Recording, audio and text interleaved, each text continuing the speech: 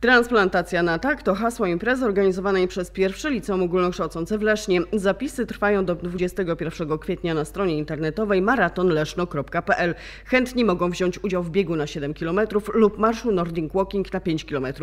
Jest także dystans dla jeżdżących rolkami, którzy do przejechania będą mieli 7,5 km.